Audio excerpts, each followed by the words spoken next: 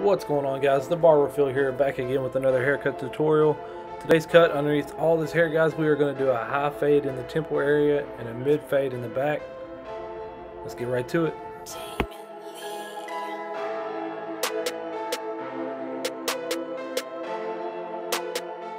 So we're going to start things off with the Wahl Premium 1.5 guard. Knocking down the area just below the curls up top. Going with the growth of the hair down and then I'm to come in behind that. We're going to use a comb to really push those curls at the top up out of the way. And we're going to use the two guard in the Andis purple set.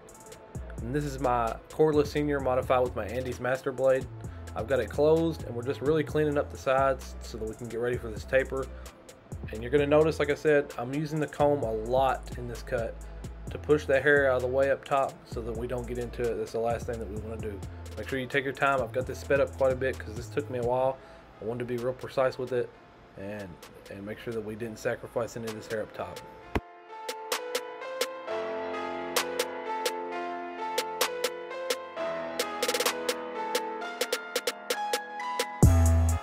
Hey, how about this banger of a beat, guys? I told my guy Jamin this is my favorite one he's given me so far. I'm gonna shout him out. It's at Jamin Lee, J V M I N L E E.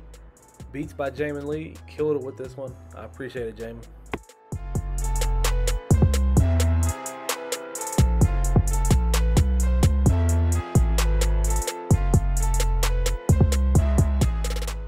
So now that we've cleaned the sides up with the two guard, I'm gonna comb the hair back down to the place and get right into this taper. We're gonna start things off with my gold Babyliss FX trimmers. These are my hitters. I'm gonna set my bald line in from the bottom of his vertical bar in his lineup to the top of his ear at a slight angle. Scoop that out. Come in with my backed up trimmers here. Flick at that bottom line just to knock that out. It's going to soften that line up. Come in behind that with an open no guard. And this is my cordless senior modified with the Andis Master Blade. I'm to close that up, buff that bottom line out there. We're to use an open one guard flick up into that two that we've did all along the sides clean up just below that with the zero guard and then we're going to take the guard off. Just use corners opening and closing it pinpointing dark areas dark spots that we want to knock out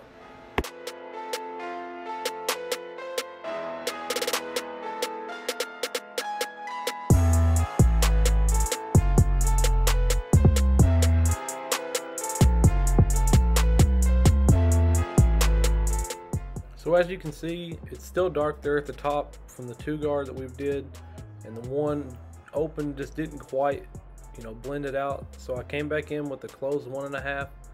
I'm gonna lighten that up a little bit more, and then we'll go into his vertical around his ear.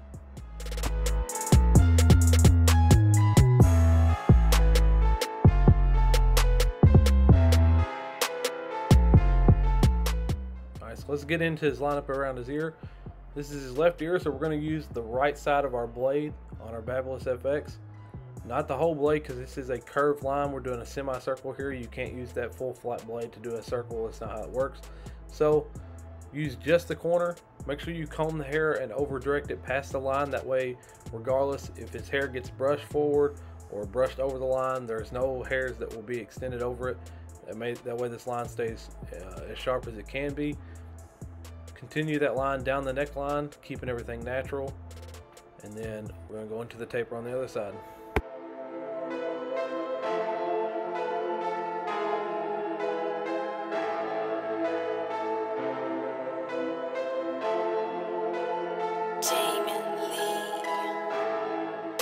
It's just like a mirror, guys. What you do to one side, you do to the other side. So we come in with our Gold Babyliss FX trimmer, set that bald line in, from the bottom of the vertical bar on the lineup to the top of his ear, kind of at an angle there. Scoop that out, use the shaver below that, take it all the way down to skin.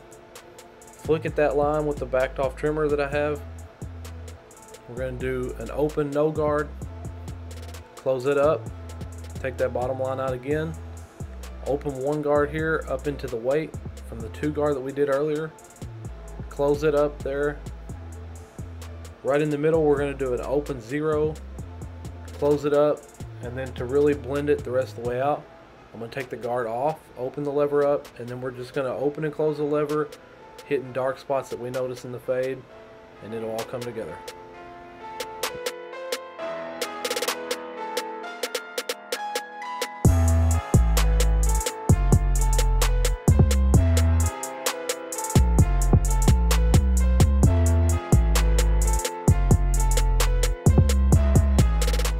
Just like the other side, the one open just didn't quite blend up into the two, so we took a one and a half with the Wahl premium guards, closed it up, lighten that up a little bit, and then we're gonna get into his vertical around this ear here, and then we'll head into the back taper.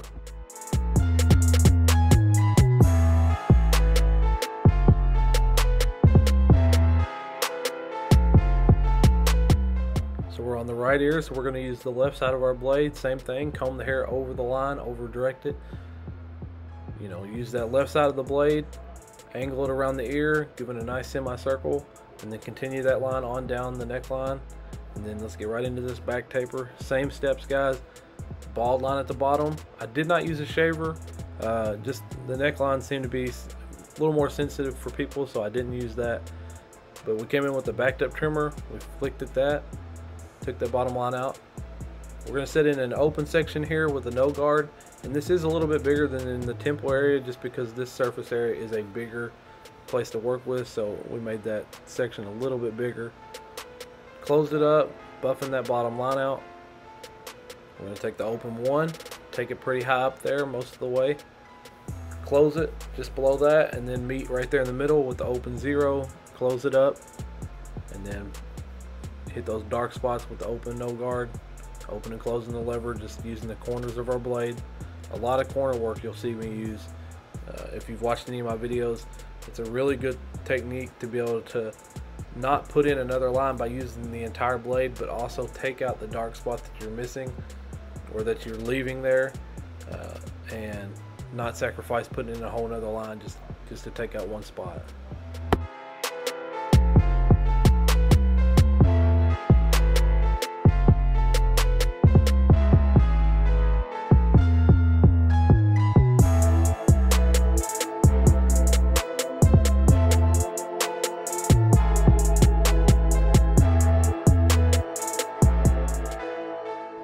Finishing everything up on the sides, I've gone back to the one and a half again, connecting the temple area and the neck area here. And this is something that I'm going to try to take away from this haircut and remember for next time because he is a regular of mine. I might skip the two guard to start the haircut next time and just go straight to the one and a half. It seems like I've had to do that everywhere uh, on this cut so far. So something you guys can take away from that. Uh, you know, if you cut people on the regular, pay attention to if you end up skipping guards or if you can get away with guards that you don't necessarily have to use you can cut those steps out save yourself some time and still come out with a good result right here I'm still trying to decide whether or not I would have gone back now and left this darker to give off a uh, more of a contrasting color y'all let me know in the comment section if you think I should have left this or you know, if I had, you know, good reason to come back in and clean this up and take this a little bit lighter than what I had it.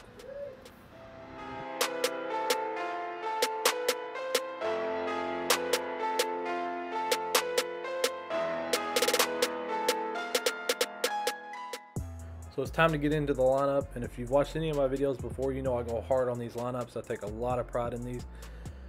Spritz some hairspray on it combing the hair down, locking it in place so that when we come in with the trimmers, everything's set where it needs to be and the hair's not moving all over the place. I'm gonna start in the middle and work my way out to the corner. Pick a spot out on his eye that works with his natural corner. That way I can line that same spot up on the opposite side. We'll come back to the middle, work our way across, find that same reference point on this side here.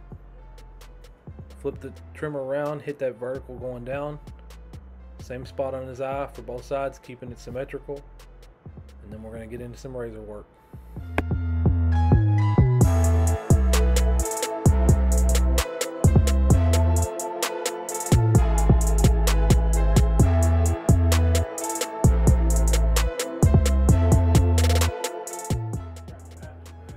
Man's in high school now, and so I always forget until he reminds me. We always line his mustache up, got to keep this thing fresh.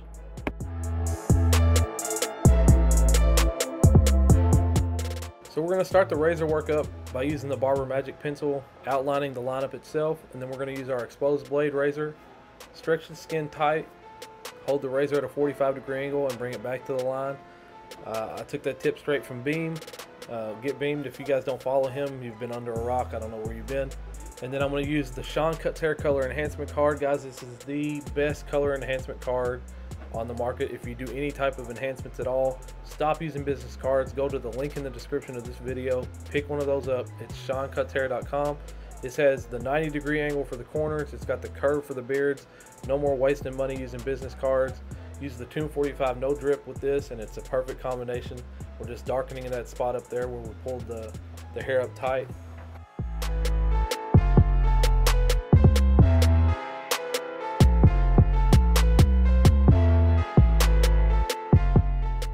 And there you have it guys. It's the final product. This is a high bald taper or a no seat taper. Just depends on what part of the country you're in. I think it turned out extra crispy. The fade turned out good. I was happy with the blend. We didn't touch the top. He's letting that go. See where he can get it until next time guys i really appreciate the love and support for the channel it's grown so much in the last i mean i've only been doing it two weeks you guys have jumped on and really helped me grow this channel fast like it if you like it dislike it if you didn't hit that notification bell, share it, subscribe. Until next time, guys, I appreciate it.